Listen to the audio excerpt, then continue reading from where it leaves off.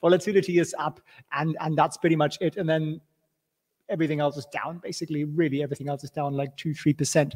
Now we just got the economic data out there, which is why why you are here, I, I presume or you're just hoping to see Winston's ever so fluffy ears, uh, which he's lying lying right next to me. So let me just take a snapshot of this and put it on here so we can really go through this. Now, of course, I must always say this, the highlight of every video is that this is not financial advice. Yay, we have disclaimers. Isn't that amazing?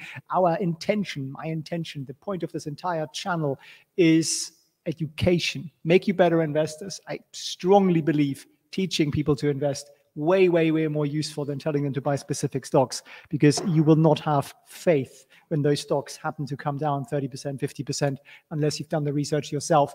And I'll some more on that in a second. We've got a really amazing upgrade to our my favorite tool coming. So I'll show you that in a second.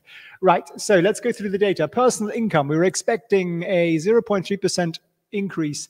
We got a 0.5% increase. That's higher than expected.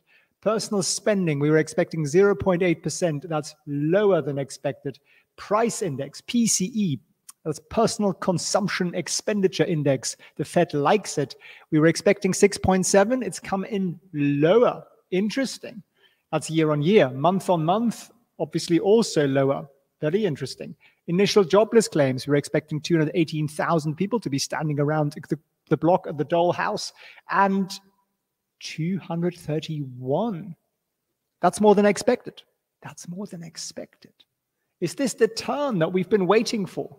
The miserable capitalists that we are hoping for people to be unemployed so we can make more money on our tech stocks, right? That's basically what we are.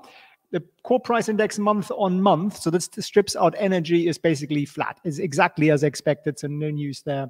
Continuous jobless claims are also up from where we expected them to be. Okay, so let's score this on a basis of the miserable growth investor, stock investor that we are. So if you are a stock investor with a, with a growth tilt, then which one of these is good news? Personal income going up. Is that really good news? Well, it implies that the economy is strong. It implies that wages are going up. So I would say that this is actually not good news. Personal spending declining, strangely enough, is good news because it means what the Fed's doing and consumer sentiment falling is having an impact. It'll slow down demand. That's the, the one thing that the Fed is trying to achieve is reduce spending. So that's good news for us. The month-on-month PCE price index is lower than expected. That is very, very good news. I give that a double tick. Initial jobless claims being higher than expected is ethically and morally, morally wrong, uh, but it's good news. and the core PCE price index being flat, well, it's better than it going up, but it's it's sort of neither here nor there. So it's sort of a you know sideways a movement and then continuing jobless claims going up more than expected. That is also good news. I know it's morally bankrupt and all of that, but that's just the, the world we live in. So, how is the market going to react to this? Because this is broadly good news for the tech market. So let's have a quick look then here at our stock screen. Now this is pre-market, so you might need to give this a few minutes.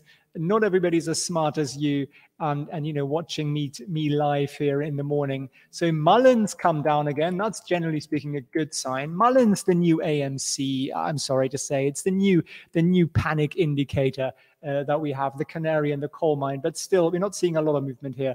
Let's have a look at QQQ. I'll open a chart for us on that. Let me just open the stock chart. Now, this, by the way, is NIO this morning in Hong Kong, right? Nice recovery, very nice recovery. We can talk about that as well. So let me put this on a minute chart, and then this is pre-market. The yellow bit is pre-market. So the pre-market's going to continue for some time. Can we make this a bit bigger? We need this a little bit bigger. So you see the data came out and boom. Can you see that? Can you see that spike here? we went from 279 to 280, and it doesn't seem like a lot, but it's a very significant spike. And you see the volume here, positive green volume shooting up. So the market is with us on this. This is good news for tech. Very good news for tech more people unemployed, slightly lower inflation. Yay, let's have a party, right? Just exactly what we want going into the 4th of July weekend is celebrate that there are more people unemployed. It's a really odd world we live in, isn't it? I mean, I, I don't really know what to say about that, but that's where we are.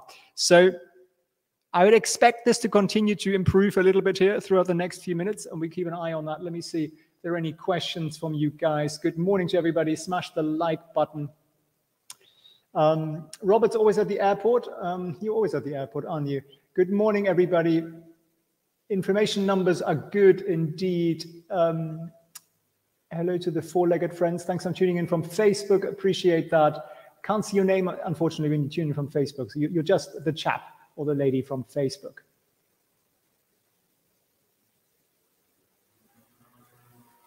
Uh, YG asking about when is it when is a good time to take losses on options contracts? I generally at this point say as early as possible. Uh, that's important to, to understand. Also, super important to understand having one trade open only is a very risky move. You got you want to have a diversified portfolio of options trades open uh, because the market does move around quite a lot, and you want to be have some stocks that are moving in one way, some in the other way, and that way you are kind of balancing out. So market neutrality is always what we aim for. NIO all-time high deliveries tomorrow? Well, I certainly hope so. Did you see the statement out from Morgan Stanley?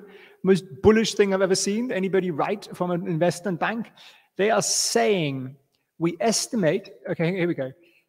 We believe NIO's upbeat June sales we don't know what they are yet, but obviously they do. Together with good volume trajectory into second half, aided by strong product pipeline, will revive investor confidence in the company's operations and trigger a rebound in the stock. And they're saying we believe the share price will rise in absolute terms over the next 15 days. That's super specific. I mean, that's really specific. Doesn't mean that they're right, but this Morgan Stanley saying that, and they put a 70 to 80% probability on that. Maybe they're watching me and they're getting inspired by my 80% probability trades. Just kidding. So that's some, some definitely some positives there on, on, on NIO. Uh, NIO also very nicely in the UK press. Metro, very popular free newspaper gets handed out if you leave a leave the tube in London. They basically throw them at you or hit you over the head with them. A full page ad here uh, about the benefits of battery swapping and this station being in Norway. So this this kind of Norway, you know, post this this uh, beach. What do you call it when you are the forward? You, you know what I mean. they, is they're getting some serious press from us across Europe. Their PR is doing a really fantastic job, which is which is really quite uh, something. So NIO Europe PR, I don't know who, who's doing that, but they're doing a really, really good job. They're getting tons of positive coverage from all sorts of organizations that I didn't didn't expect. Um, righty ho. So data for us, good news, yay. Now the other thing, let me show you this with data. So if you are on our Discord, you are quite possibly familiar with my life portfolio track, uh, tracker which is brilliant because you can put your portfolio in here. It tells you how you are diversified and so on. And then as you scroll over, I'll zoom out for you for a sec. Second, it shows you all the core data, the gross margins, the ROEs, the ROIs, and so on. Now, it's been a little bit sluggish at times, especially when a lot of people are using it. So one of my coaching students, who's an absolute whiz, and a huge thank you to you, you know who you are, introduced the update button. So you literally click update, and the script runs, and see what happens. Look at that. Look how it pulls out the data. Apple, Microsoft, PayPal, Facebook, uh, uh sorry, Ford, GM, NIO, XPeng, Li, Tesla. These are just random stocks. But you see that? Do you see how beautiful that is? And you get the fundamental data in a space of a couple of seconds. Absolutely genius. So I'll be putting this update out live today to everybody in, in the in the Patreon Discord community. So if you are not over there already, well, you are obviously missing out massively. So how do you not miss out massively? Well, you go to when you go. You go here, felixfriends.org slash Patreon. Link should be below. There it is. Half covered. Crikey. Technology sometimes. Hey, there it is. felixfriends.org slash Patreon. It's like 20 cents a day, something like that. Join us for the year. You get an extra month off. And you are able to do incredible research. Look, it took 29 seconds to load the tickers for about 50 companies in all of the core data. So you want to do some benchmarks. You're thinking about buying a stock. Why not compare it against their competitors and see who's actually got better numbers? Look who's actually got better long-term earnings growth and who's got better insider ownership, better institutional ownership, better debt over equity levels, all that kind of core stuff. So this is absolutely brilliant and fantastic. Thank you very much for helping us to make this faster and more satisfying to use.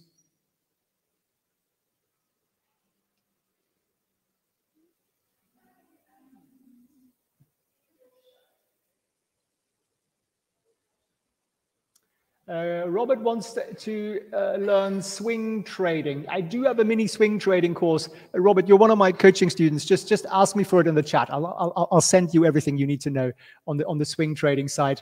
Um, I in terms of stock trading for swing trading, I'm not a huge fan. I think the benefit of that course really is to get you to a higher level of technical analysis understanding, and that's quite important. Uh, but Robert, you're, you're one of my my mentees. Just, uh, drop me a message in the uh, in the private chat with me. Uh, we have a one-on-one private chats for all of the the coaching students, and I'll, I'll send that over to you. Um, no no worries. Um,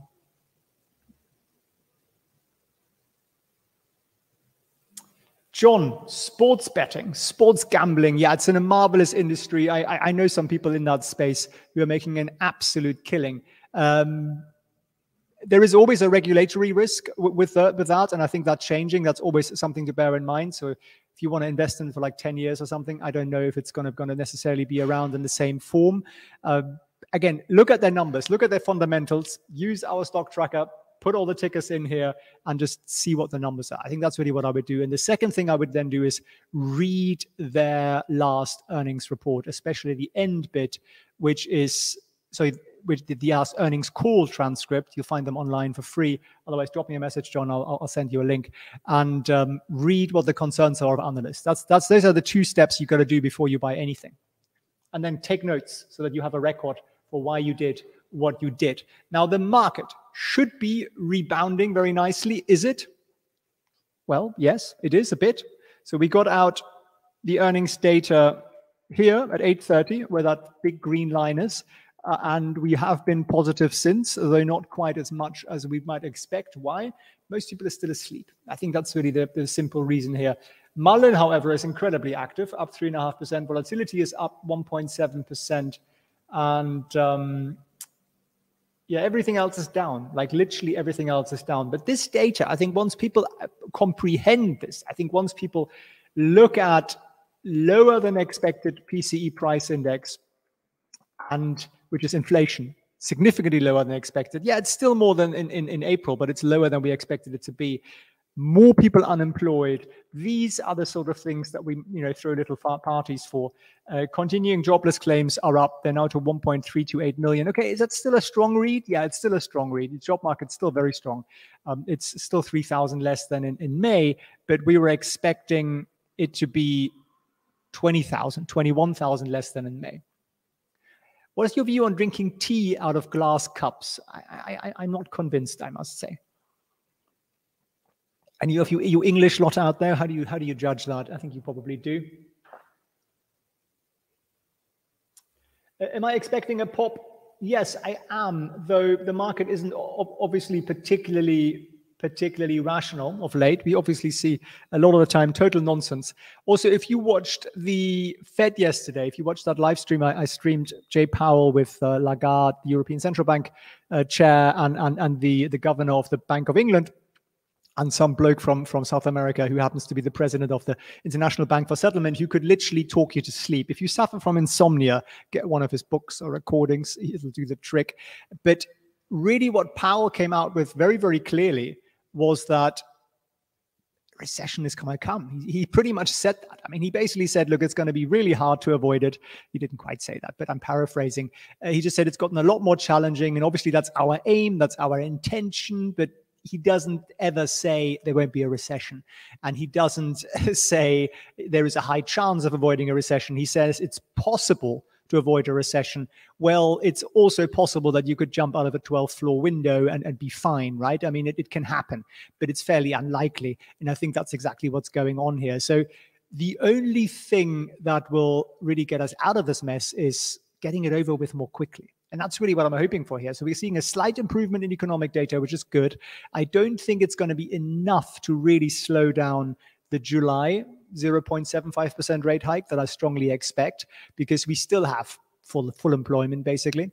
And Jay Powell was saying yesterday he was frustrated by the sluggishness with which people return to work. So they left the labor market, and, and, and he thought that after COVID, everybody would just go back and everybody would be like, I miss my cubicle. I miss driving for two or three hours a day to go get there and back. And I just loved it so much that depressing gray air conditioned office, I really, really want to go back there.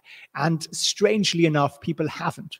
And actually, I congratulate those people. I think it's fantastic. People quitting the corporate world is something I highly recommend and there's lots of ways of doing that. I, uh, I, I teach people how to start side hustles. I teach people how to become coaches, and I teach people how to become investors in stocks or options because we make fantastic returns. And all of it together is actually uh, what I think is the perfect solution. I, I, don't think you should be reliant on one income stream. That's how it's like having a job. You should have lots of them. And if you have lots of them, you feel happy and free and you can go for a swim and, you know, in, in the, during the day and do whatever you want and enjoy all the marvelous places while everybody else is sitting in their gray cubicles. So that surprised them. But it also, again, just shows that he's still somehow hoping that the labor market's really going to ch- eh, eh, eh, change here. People are going to come back to work. I just don't think so. I, I, don't see that happening.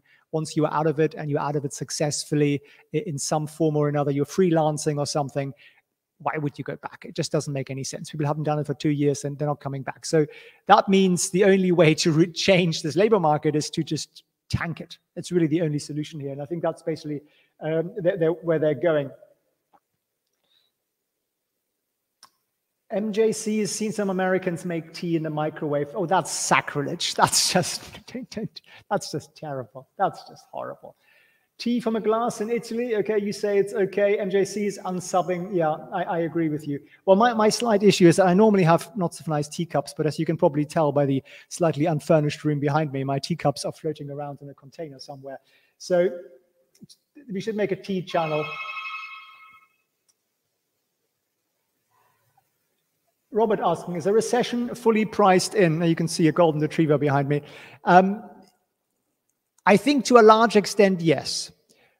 But you will still get significant volatility each time this comes back, right? So you will get the kind of Walmart, Target, real world stocks, the retailers and so on suffering a little, and you'll get a little bit of a bounce in the tech because by getting into a recession, we get closer to tech rebounding because that's a, that's the strange thing with recessions. Um, QQQ still up here moderately, pre-market actually down minus one percent still. That's that's pre-market.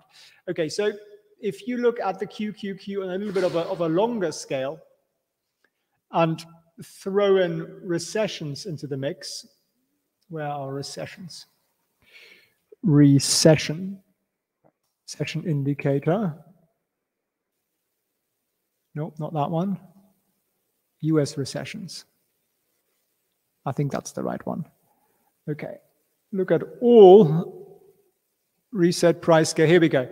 So clear as mud, isn't it? Um, what typically happens is if you exaggerate this a little bit. So the green areas are recessions. The last three we had 2000, uh, 2008, 2016. And what happens is that in a typical market, you go into the recession halfway through, UV out of it. Um, now, 2000 was a little bit special. Uh, we also got um, 9/11 that that kicked into that. That made the whole thing a little bit worse. Uh, but you know, this which this is what happened here. Where, where, was it? September, right? September here. So you got a little bit of that bounce, but not a real one. But then you got it a little bit afterwards. So you still got the bounce. It, it was just delayed. And if you look at the 2016 recession, it wasn't really all that much of, of a market recession. So the market doesn't necessarily. So we went down a bit and then we sort of feed our way back out of it. And that's typically what happens. So by entering, oh, you can't see the chart. All right, that might be helpful. Okay, so this is 2016, not the greatest V in the world, but it's still a little bit of a V. Uh, 2008 is a much more textbook uh, V. So your tech stocks fall going into it, and then somewhere halfway through it, you kind of t- typically bounce out of it. And that's what you would expect to happen in, um, in in any recession is that actually we see it as an indicator towards a market bottom. And yeah, we're down quite a bit here. And if you look at, say, 2008, we went down about 50%, which is really quite a lot. I know you can't tell on the chart. Whereas right now, from top to bottom, we are at 34%. So you know there is still room for volatility and i think that's really what what i would continue to expect. And what does volatility do? It does one thing. It makes our options trades more profitable.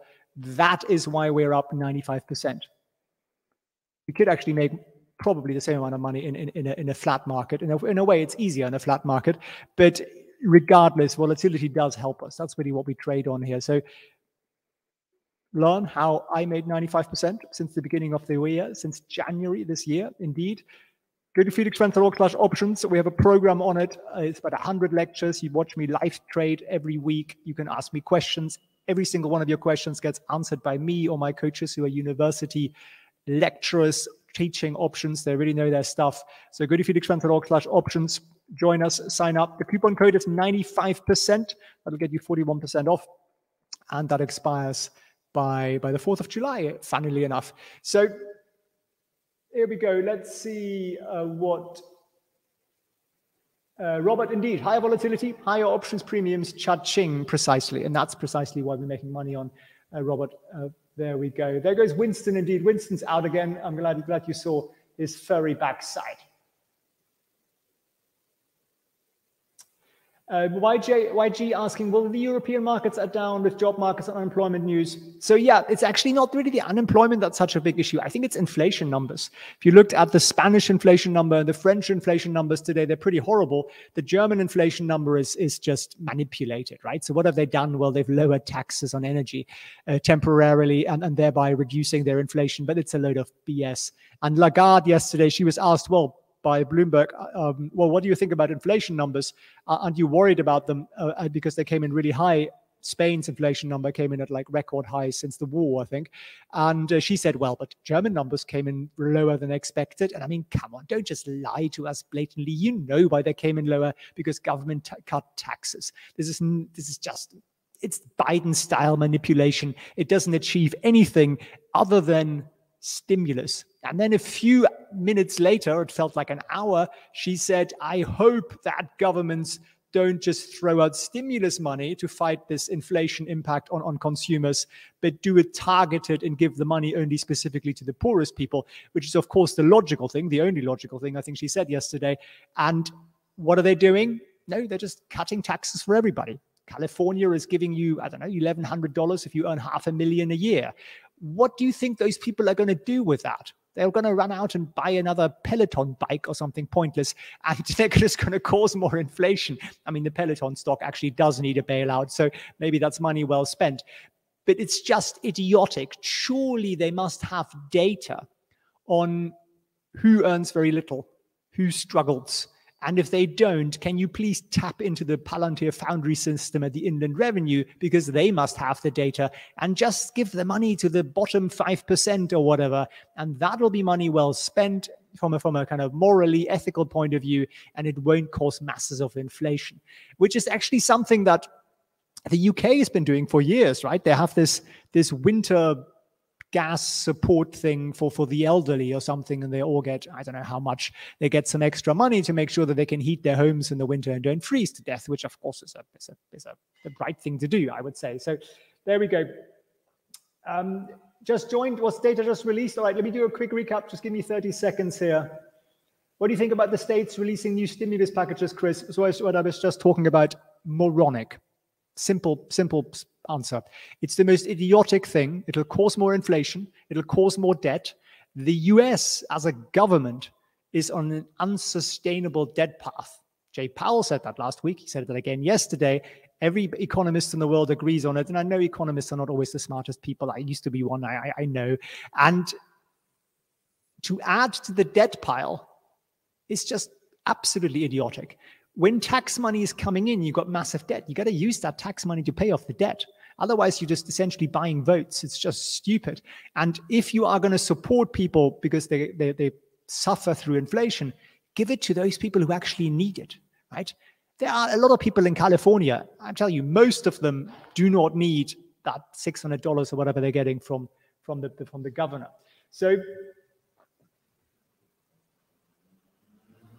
Uh, John, we haven't had a second quarter of negative GDP numbers. No, we got yesterday the final Q1 data. That's how it happens. We get preliminary data first, and then secondly, we get that same data again revised when everything's come in, and it was revised upwards. So we haven't got the Q2 data in yet.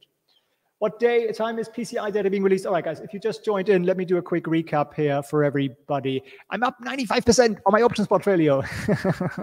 Uh, I'm always excited about that. I, I, I, love that. It's, it's so much fun uh, trading and making money. It really is. It's actually just fun running any business and making money. And, and trading is just another business. That's what that is. And that's how you got to treat it as well. You got to treat it with the same respect, the same system, the same strategy, the same diligence, and, and invest in it. And I don't mean throw money at it, but actually talk to somebody who knows what they're talking about and who is making money. So if you want to learn, find somebody you can learn from, or come and learn from me if you'd like.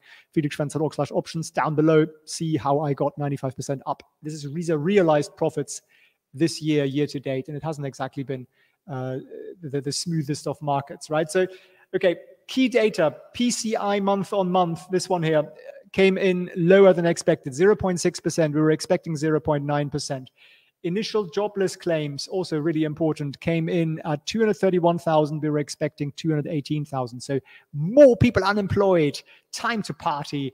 And the core PCI, which strips out inflation and food, because who needs who, sorry energy and food because who needs to heat their home who needs to drive anywhere who needs to eat. We are all aliens came in as expected. So that's kind of good. Continuing jobless claims this one down here came in at 1.328 million. We were expecting it to fall to 1.31 so we were expecting the labor market to tighten further. It hasn't.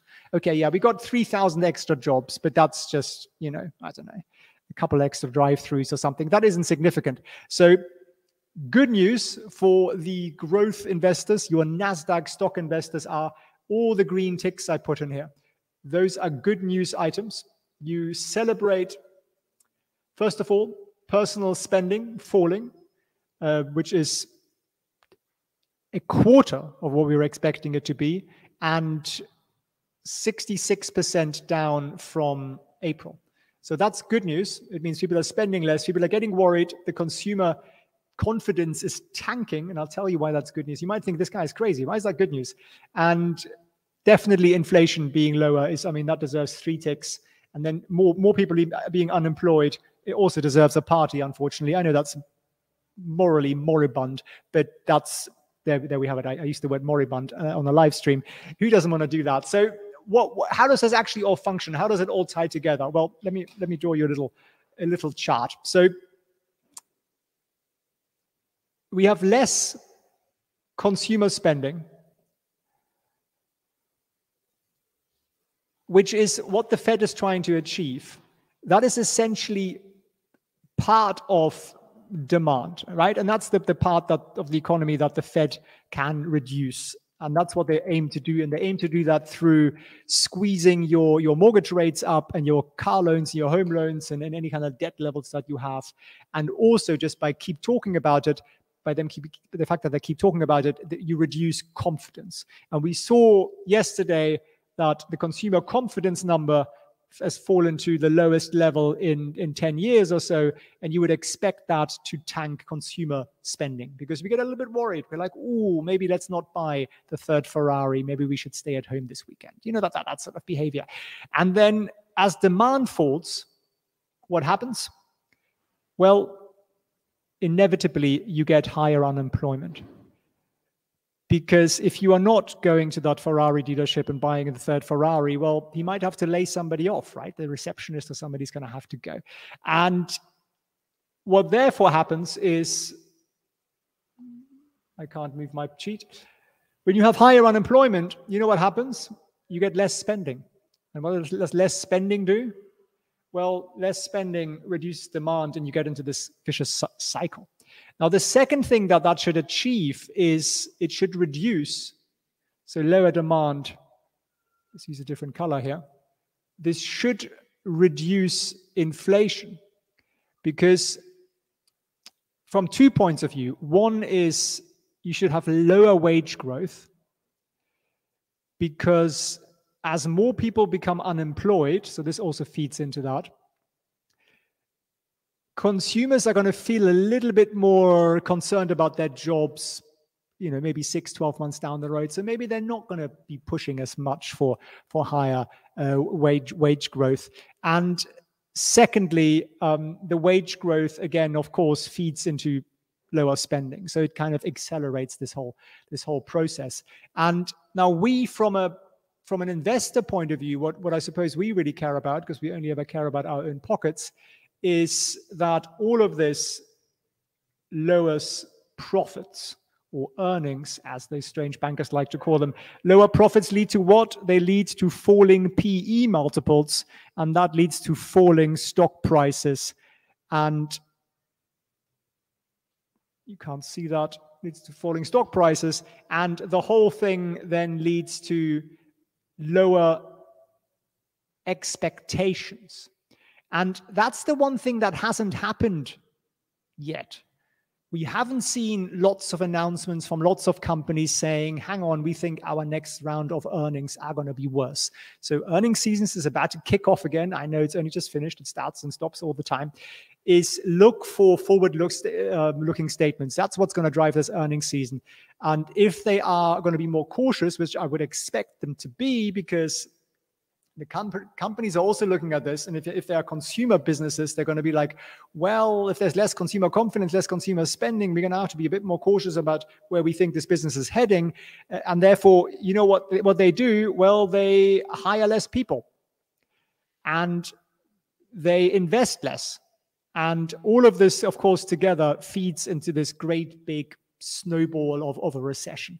And in a sense, that's basically the end, to end goal here for the Fed. And then what happens at the end?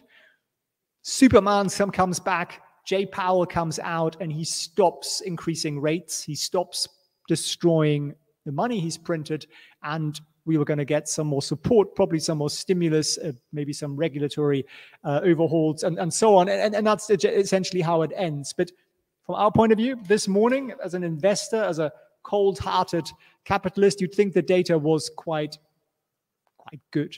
Let's have a look at how the market's reacting to this. Well, Mullen got the pick, got the memo. QQQ is still down 1.3%. Now, why is that? Because the most guys early in the morning, first of all, are retail investors. They're not watching us here because there's only 300 of us on the call here. And obviously, most of you haven't hit the like button because if you had, there'd be 500 of us on the call here. So I'd love it if you did that. And they've read the headline, and the headlines are recession woes, market wrap. People are reading what Jay Powell said yesterday. They read yesterday's news. They'll read today's news tomorrow. And that's generally what happens, right? You get a Jay Powell speaking. People do the opposite of what he said for 24 hours, and then they read it and then they do it. So if you want to get a little bit of an edge in the market, you know, tune in and smash that like button. I truly appreciate that. So uh, Nightbot is bullying people here again. Um, apologies, Brian. My, my, my bot is, is, is vicious. He's an ankle biter. It's like a little chihuahua. Bull put spread at open. Woohoo. Um, is asking, should I sell some of my stocks to go for options puts for upcoming crash? Don't do it unless you really know what you're doing. The most dangerous trader is the one who has one idea and has half knowledge. So really, really caution it. I make my students paper trade for like weeks, often months, because it's really, really important to really practice this, understand it, and go through cycles. And the beauty with options is that you never run out of out of op- opportunities. There are literally opportunities, new opportunities coming up every single minute during the day. And it's never like you missed the great thing. It's not like, oh my God, I should have bought Tesla in 2005 or something. This doesn't happen with options. That's one of the reasons I like it. So instead, I would study, practice, learn, paper trade, and, and, and repeat uh, rather than uh, jump on something. yes, Nightbot does not handle excitement well. Absolutely. Um, Absolutely. Uh, there is an official board that officially declares a recession. Yeah, it's there is no real legal definition of it. I mean, it's sort of you know, like the COVID thing, I think that was a recession. I think that's fairly accepted. I think that was just one quarter. Uh, but yeah, the, the, the, the, typical definition is two quarters in a row of negative growth. So we had negative growth in Q1. Q2 is probably going to be positive. So we are looking more towards Q4, I would say, for, for real negative data here again. How long is the average recession from entry to recovery?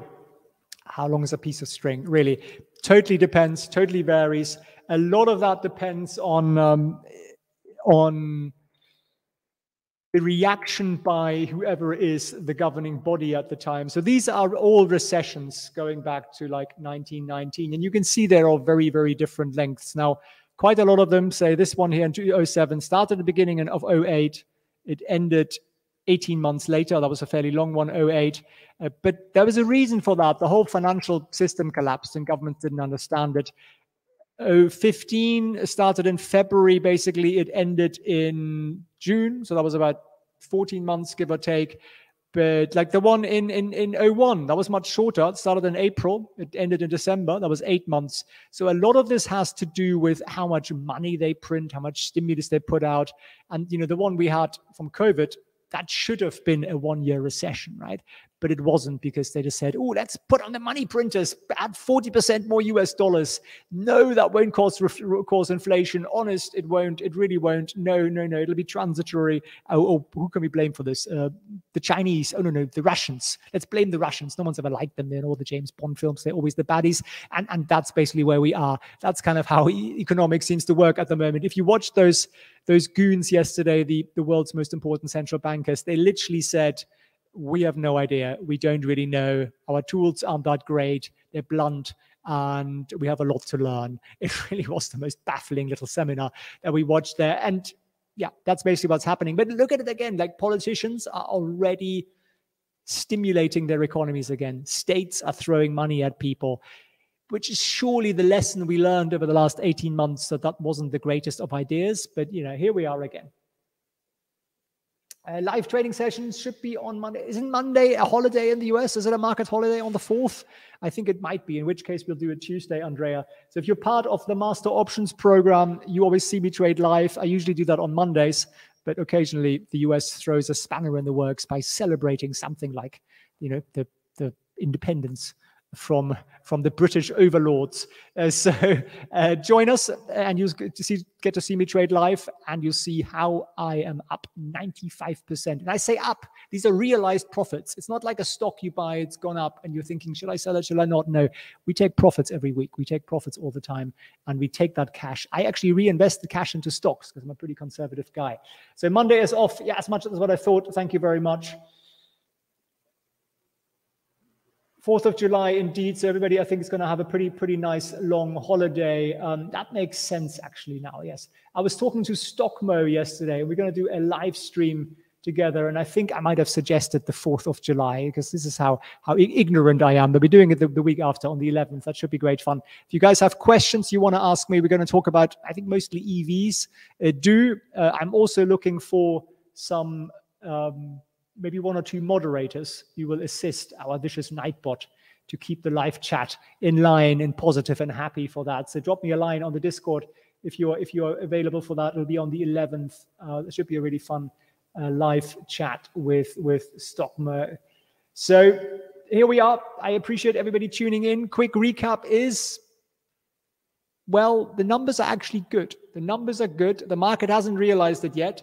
QQQ is down 1.1%. It was down 1.3% just. So maybe people are waking up to it a little bit. I think we might see a bit of a recovery here, or it could come in tomorrow just because people take a little bit of time. At the moment, everyone's worrying about the recession and what Jay Powell said yesterday in Portugal.